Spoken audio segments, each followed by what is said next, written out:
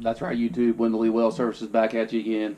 Um, got another topic that comes up a lot. Homeowners ask me about a lot, and uh, that's you know the installation of check valves and what's their purpose and what are they.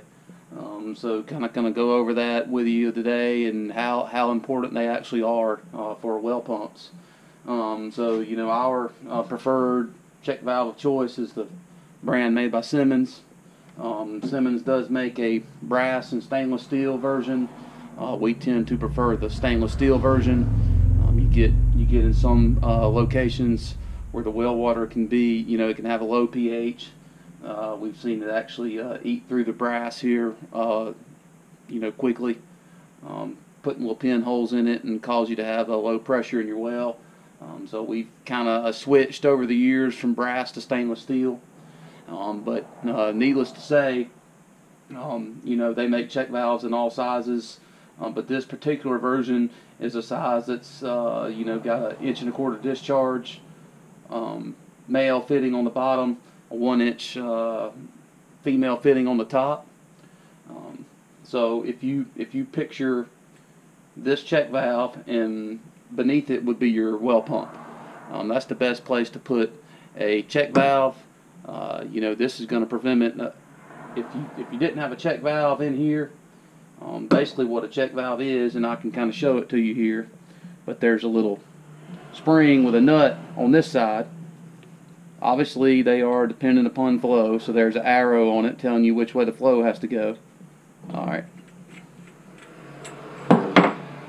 The upstream side looks like this. All right, and I'm gonna mash my finger.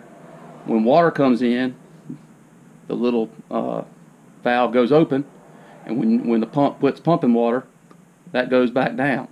So you can hear it. Hear that little noise there. It's got a spring in there that pulls this back down.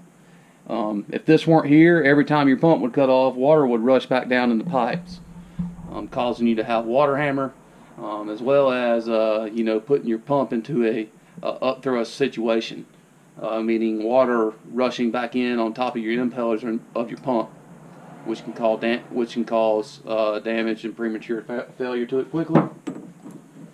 So, you know, again, we always uh, most pumps have a check valve in them, um, but you know, depending on the manufacturer, they don't tend to be as of high quality as these Simmons ones are. Uh, you know, sometimes you can get a little rock in your uh, pump and it can actually hang the check valve up that comes with your pump in, keep it from working. So we always like to install one of these on top of the pump as well as putting one uh, about every three or four hundred feet in line with it.